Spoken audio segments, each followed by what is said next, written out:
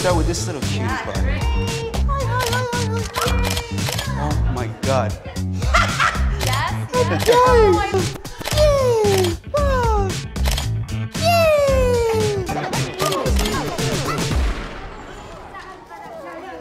Hi, Mama. Okay. Some people may tease me and say, oh, you're a f- mama's boy. I am very proud of you. Come, come, look how adorable all these little babies are. Oh my God. Such a cute baby. Yes, I am 100% a mama's boy. Hi, baby. My mom's validation of me means the world to me. Come a long way. Started with an idea, and here we are. This is a good one.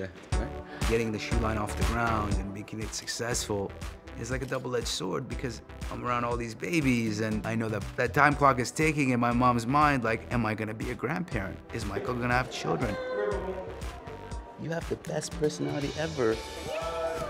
Although I'm really happy about the turnout today, I'm a little sad because I don't even know a man has a biological like baby clock, but I'm like thinking to myself, by the time I become a dad, I'm gonna be an old man.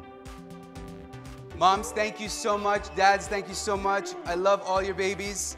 I will babysit anytime you need. Do you have kids? No. And I really wanna have kids. No babies yet.